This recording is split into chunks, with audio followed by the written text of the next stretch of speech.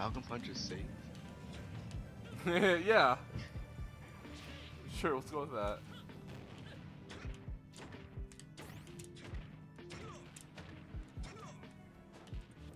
Probably a lot of up airs.